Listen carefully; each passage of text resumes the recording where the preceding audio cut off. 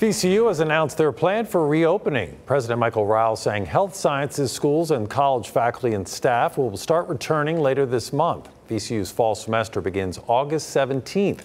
Students and employees will be required to wear face masks. On-campus classes might be smaller with some alternating which students attend in person. Those in-person classes will wrap up by Thanksgiving break with finals conducted online. VCU says the 2020 fall commencement